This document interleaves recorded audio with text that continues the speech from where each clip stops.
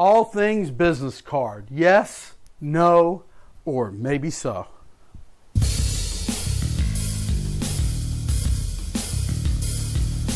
This is the 365 Days of Multi Level Marketing Journey to Freedom podcast with Rome Batchelor, where Rome shares his daily journey from down and out to total financial freedom in one year, along with pro tips, tricks, strategies, and tools to help you join in on the journey. Now, here's Rome with today's Journey to Financial Freedom podcast.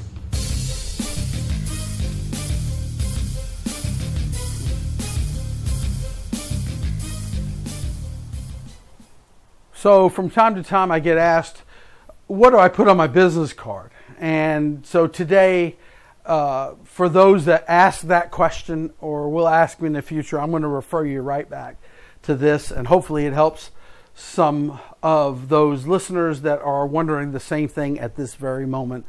What about business cards? So, do I use business cards? I have. Have I wasted a lot of time, effort, and money and expectation on something that typically doesn't work? Yes, I have. But are there ways to make business cards productive, useful in acquiring and building a business? Absolutely. And I'm going to share some of the top ideas I've ever gotten throughout the years on business cards, including one that has helped one gentleman I know become a seven figure earner and recruit personally over 300 people, developing 12 or 13 leader organizations because of a simple use of a cheap tool called a business card. So, all that's coming up. So, first of all, business cards. What's the downside? The downside is typically they don't work. Typically, what happens to them? They get tossed in a trash can or lay in a shelf or in a book or somewhere for years and nothing ever occurs. They get just, it's just a wasted, a wasted piece of paper and that's just the truth of the matter. However, there are creative ways to use business cards. There are even little courses you can even go to YouTube and write business cards for network marketing and see what comes up. I'm sure there are other suggestions beyond the scope of this episode today that might give you some value. So that's tip number one. Tip number two is I prefer, at least at this point in my life, I prefer not to use a business card. I prefer to use a sticky pad. A sticky pad, yes, a sticky pad, a yellow sticky pad. Here's why because you can leave a sticky pad at the ATM with a little message on it, and somebody might call you. You can't do that very well with a business card, and nobody's going to pick up a business card, but a sticky pad creates curiosity, a sticky note, or at the gas pump. So that's up to you. There are people doing really well with sticky note marketing as long as they live in the right area and their offer and their ad is right. And that's a whole nother topic, making sure your ad is good enough that somebody will call you. So for passive marketing, where you're actually leaving out like an ad, almost like a little flyer, you can't the business cards get very few calls, but sticky notes get a little bit more response in cold marketing than a business card does if it's the right ad. And you can handwrite it or you can get a stamper and stamp the right, uh, the right message, the right headline, and the right contact information, or maybe even a free giveaway of some type to get people to reach out to you or reach back to you in some form. And that has some value. Now, do I, you know, teach that? Not very often, but there are some really good videos again on the internet on how to use sticky note marketing that you might reference, just like business cards, you might reference YouTube, a great resource. However, I use them like a business card, and here's how. Yeah, when I have a, a, brief conversation, I say, you know, this person might be somebody I want to talk to about business. Instead of reaching out about the business right then at, at length, I might keep it vague or I might give a little bit of business information, just enough to pique curiosity, not enough to satisfy it. See, here's the key too many people go for interest in their first conversation, and quite often that's a mistake. Instead of going for interest in the first conversation, you want to till the soil a little bit. It's like, you know, your website, your, your conference call, your recorded message, your video, that's the seed you're planting in the ground to see if it sticks and grows you some fruit, grows you a plant or whatever, right? That to see if it takes root and actually bears you some fruit. See if it takes root and bears you some fruit. That's pretty cool. But in order to get the most response from your seed, it needs to be the soil needs to be cultivated a little bit. You need to move the rocks out of the way, till it a little bit, so that seed can, can get down in the ground a few inches and take root rather than just be on the surface and nothing happens.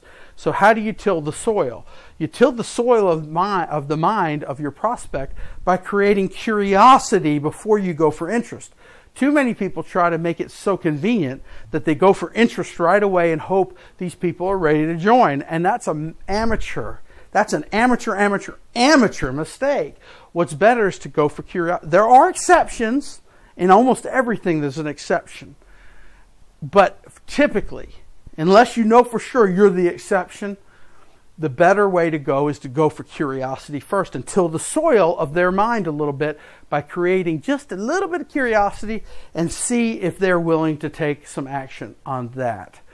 And how you do that is just giving them a teeny bit of information, but not too much.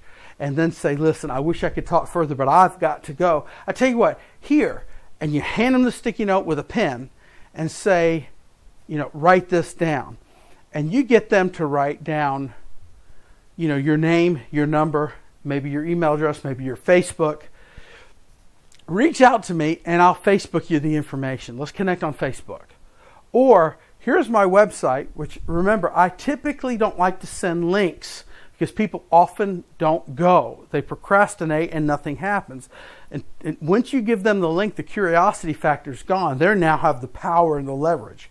Until they see have a link to what you're doing, you own the power. So it's better not to give the link until you've cleared the time to share the presentation.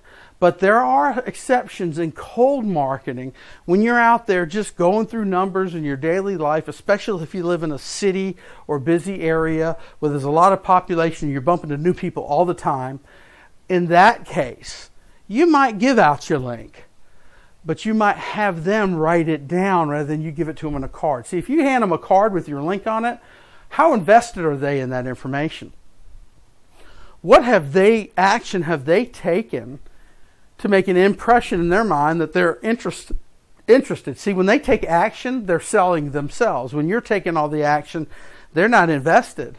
So if you can get them to write it down in the sticky note, your link, your name, your phone number, or what have you, then they're becoming invested in the information. The other beautiful thing about the sticky note is it's not something they can put on, on their desk and they're going to keep forever. There's, they know it's going to get thrown away soon. So if they have any interest at all, they're more likely to think, I better look soon before this gets lost or thrown away.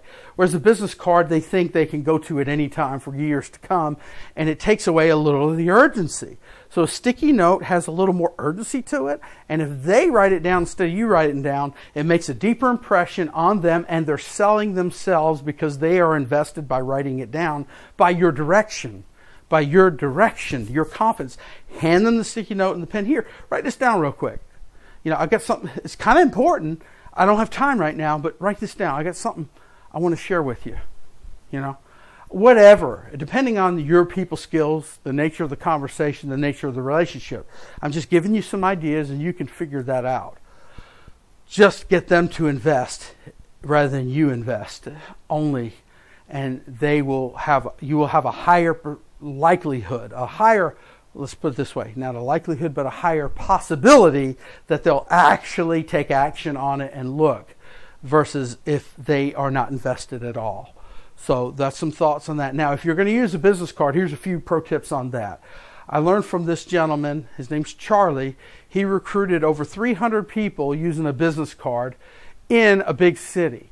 And what he did, and, and out of that, he had uh, at least 12 organizations go out and, and turn into uh, successful organizations, which made him a seven figure earner in his company, which is, I mean, awesome, right? And he had a lot of fun doing this. What he'd simply do, he had his business card and he'd use it as a tool to leverage asking for their contact information. And here's how he did it he'd say, You know, I got something I'd like to run by you but now's not a good time for me. And obviously, you know, it's just this isn't the time or place. Here's I tell you what. Here's my card. How do I get in contact with you? In fact, he said, you know, that's int-. he'd ask people what they did, and they'd say whatever it is. He'd say, "That's interesting. I work with a few people in that line of industry." Uh, matter of fact, I'm in. I own my own business. I'm in the process of uh, of expanding. Uh, I tell you what. Here, here's my card. How do I get in contact with you? You know, or he'd say, I'm in the process of expand. You know, he'd say again. He'd say, "What? So what do you do?" You know, in small talk, it might be a line at a store or somebody that he bumps into in conversation out in the real world, and he'd say, "So what do you do?" And they'd tell him and say, "Oh, really? That's interesting. I work with a few people in that line of industry," because even if they're not in his downline, they might be someone in the same company in that line of industry, right? I work with a few people in that line of industry. I, in fact, I, matter of fact, I own my own business. I'm in the process of expanding. Are you open minded to side ventures? Are you open minded to making some extra income? Are you open minded to uh, profitable, profitable side ventures or side projects? If they say yes, then he'd say, I tell you what, here's my card. How do I get in contact with you? It really boils down to here's my card. How do I con- get in contact with you? He doesn't say, Here's my card, what's your number? That's offensive, that's pushy, that's salesy. He did it more low key. He said, Here's my card, how do I get in contact with you? And let them decide how by offering it and let it be their idea. Now they're investing because it became their idea, not yours. You just said, How do I get in contact with you? Now, here's the key. If they say, Well, uh, but, but, but anything other than here's my number or you can reach me on Facebook, something that's high touch like a phone number or a Facebook. If they just say, well, you can come here at work, I'm here most of the time, that's not good. That means, that tells you they're not open to a further connection. They're putting barriers in your way. They're not really friendly people. But if they offer you their number, if they offer you to reach out and connect on Facebook, they are open to a connection. And if they're open to a connection, that's a convenient way to actually have a conversation with them or reach out, then that means that's a friendly person. See, people who are closed off are not going to join you. People who are closed off, if they did join you or buy your product, are not likely to ever build a business because they're closed off, unhappy people. People who are open to connection tend to be happy people. Happy people tend to be productive people. Productive people build a business. So you're looking for happy, productive, open people who are willing to connect, who are open to connection. And this is your way to find that out without chasing somebody down that ain't going to ever do anything. It's a great way to filter out those you don't want to find those that you do. You're looking for the happy person. One happy person a month is better than 10 unhappy people that you chase and chase and chase and nothing happens. You're looking for 10 people who are happy enough to be open to connect. Those people are, will lead to something good. So here's my card. How do I get in contact with you? And that moment tells you what you want to know. Are they open to connection or not? Because if they're open to connection and you actually book an appointment to let them see a presentation, whether it be face to face or on a webinar while you're on the phone with them or a video while you're on the phone with them, that person is much more likely to actually join or try your product because they're open to the relationship. They're open to the connection, right? Another thing is instead of, use the word connect. I want to connect with you. I want to connect with you further. Here's my card. I've got something important I want to share with you. Probably it's not a fit, the takeaway. Probably it's a long shot. I don't know. I can't promise you anything. The takeaway. But I want to connect with you further. I got something important I want to share with you because there's a chance, you know, just a shot in the dark. And I'd like to con- con- connect with you further. Here's my card. How do I get in contact with you? And let them share.